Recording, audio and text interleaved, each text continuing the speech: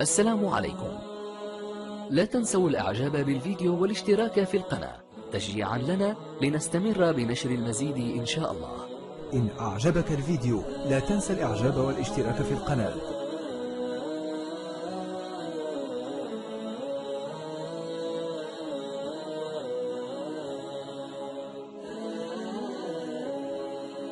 السلام عليكم. لا تنسوا الإعجاب بالفيديو والاشتراك في القناة. تشجيعا لنا لنستمر بنشر المزيد إن شاء الله. آه، سي أمين هذا الطالب الجامعي كيقول ربنا عز وجل كيتكلم عن سوره النساء كيقول أو لامستم النساء أو لامستم النساء واش الراجل اللي صافح المرأة سلم عليها؟ يسمى قد انتقض وضوءه. هذه الآية حملت أوجه. أو لامستم النساء البعض قال لك معناها غير الملامسة كتلمس المرأة. آه فهذو الظاهرية. يقول لك انتقض وضوءك. بعض العلماء قال لك لا المقصود بالملامسة هي الجماع. الجماع يعني أن الرجل يجامع المرأة آه، بشكل أو بآخر آه، ديك واخا لم يقع على إنزال فيسمى أنه أبطل وضوءه لابد أن يعيد الوضوء. لكن الرأي الوسط كما ذكره محمد بن علي الشوكاني آه، قال لك اللي واتفق عليه العلماء واصبح هو المتداول بين الناس وهو أن تصافح المرأة بشهوة. سلمت على امراه وما وقع لك والو بحال أختك. ما عليك والو وضوءك صحيح.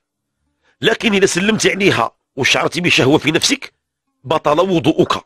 عليك أن تعيد الوضوء من جديد. السي أمين اللي طالب جامعي كيسول أنه آه كيسكن بعيد. وملي كيجي لوقت الصلاة في الليل كيلقى الماء بارد بزاف. هكذا قال الماء بارد بزاف. واش مسموح لي نتيمم ونصلي. ولدي آه أمين التيمم لا يكون إلا عند عدم وجود الماء أو عدم القدرة على استعماله لسببين. الماء غير موجود صحراء قاحلة إلا الماء الشاوب هنا ربي عز وجل أباح لنا التيمم. نتيمم على التراب أو الحجر أو الماء موجود لكن يتعذر عليه استعماله. إما عندي جرح والماء قا... البرد قارس والماء بارد هنا ويقع عليك ضرر. ربي عز وجل أباح لك أن تتيمم لعدم قدرتك على استعمال الماء. لكن هذه القدرة راها تتغير كاين اللي غير في العجز. اذا كان ماء بارد الماء بارد صحي. راه العلماء كيوصيوا بالاغتسال بالماء البارد والوضوء بالماء البارد. ألم يقل الله عز وجل في حديثه عن سيدنا أيوب؟ قال لي أركض برجلك هذا مغتسل بارد وشراب. بارد وشراب ماشي البارد ديال الثلاجة البارد الطبيعي. راه هذاك الماء البارد في حد ذاته قد يكون سببا في النشاط.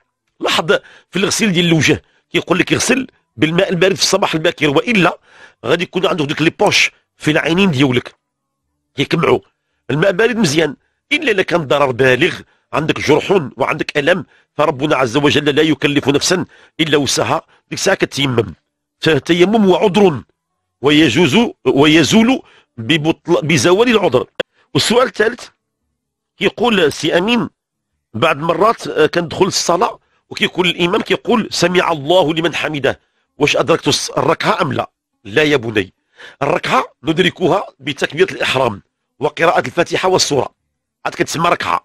واستثناء أن يكون الإمام راكعا. يقول سبحانك ربي العظيم سبحانك ربي العظيم وهو راكع.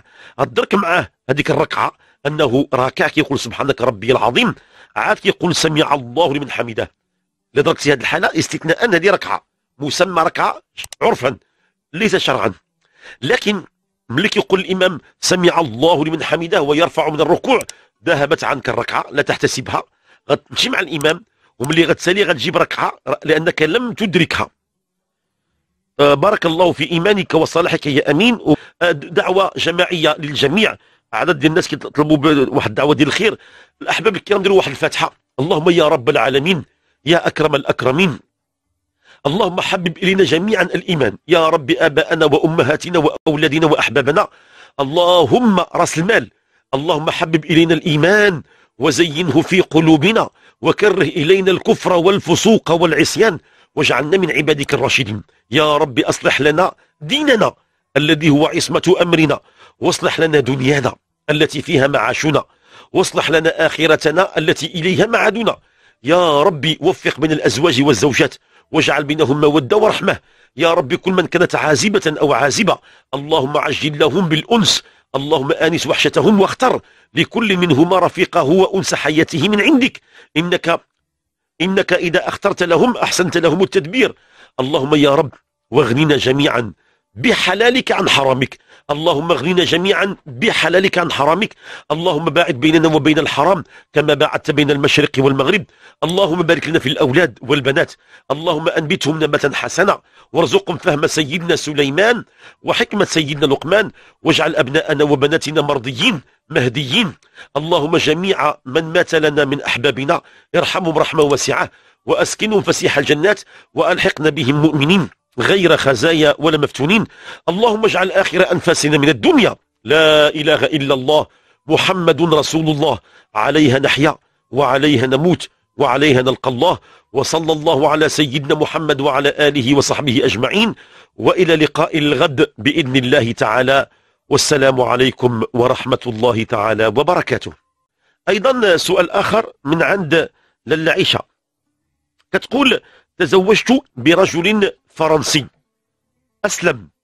لكنه يؤدي صلواته آه، فقط بالصور الصغيرة كيصوم كيصلي كيزكي لكن كيصلي غير بالفاتحة والناس هو الصمد.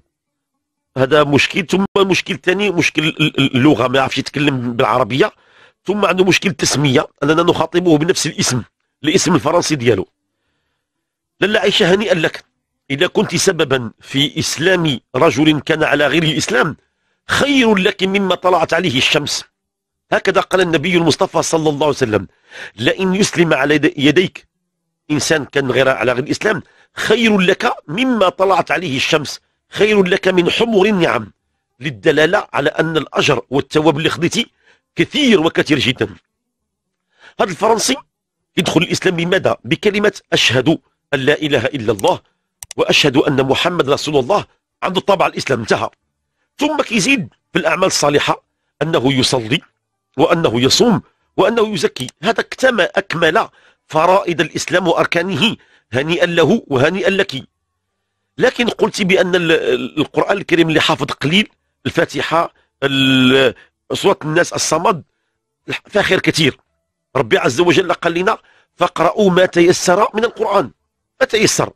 ولو آية بلغوا عني ولو آية. يعني راه في آيات الفاتحة فيها الآيات. والناس والصمد فيها ستة ستة 12 إذا جمعناها راه واحد العدد كبير. لحد الساعة راه هو غادي في خط تصاعدي مستقيم. هنيئا لكم لكم جميعا بهذا الخير اللي وصلتوا ليه. استمر كل مرة يحفظ شوية إن شاء الله بنتي وغادي يكمل ليه الرجاء. قضية الاسم فليس من الضروري أن نغير الاسم. كاين صحابة أسلموا ولم يغيروا أسماءهم. الاسم من باب التودد لأن كاين هناك إجراءات إدارية معقدة.